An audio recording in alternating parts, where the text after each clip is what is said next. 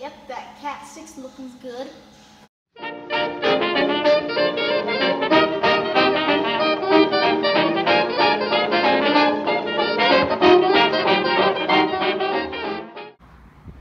Hey, it's your favorite guy, Coulter.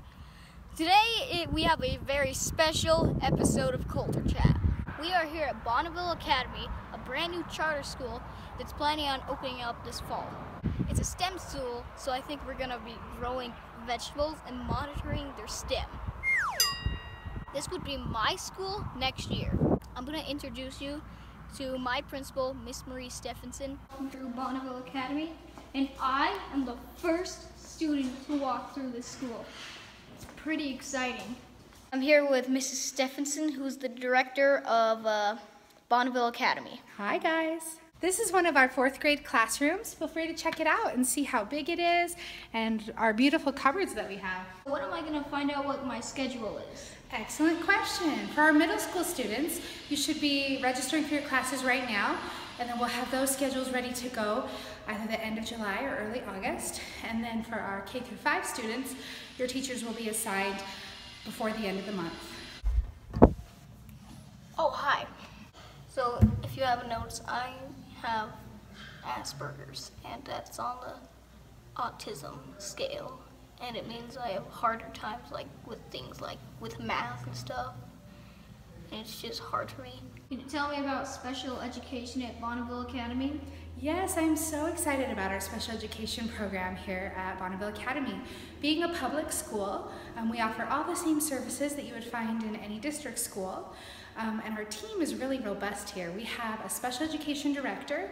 She has two uh, certified special education teachers working under her, and then there are five paraprofessionals, as well as our speech services, OT services, PT services, any services that our students need. Gonna give my thoughts about school lunch for the future.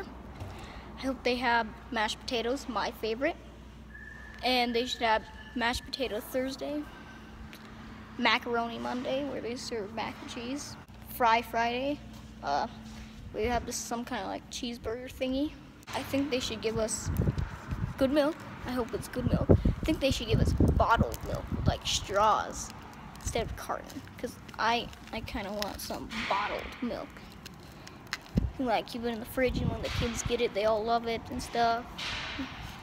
So yeah, that's what I think about the dairy and cheese. What can you tell me about the dress code? Oh, I think you're gonna like this one.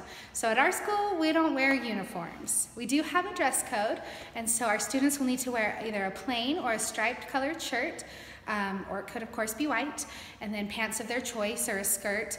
Um, if it is, you know, a skirt or shorts, please make sure it's an appropriate length. Well, I'm gonna walk up the stairs and like explore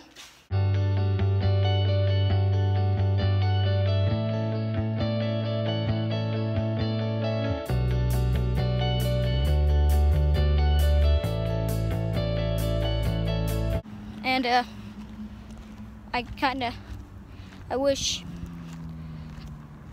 a girl named Paige I know will come to the school. The front desk.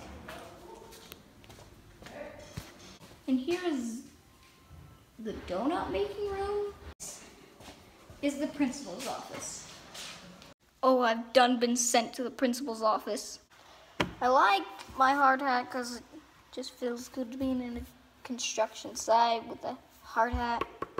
Name's Coulter, and this here's my tractor.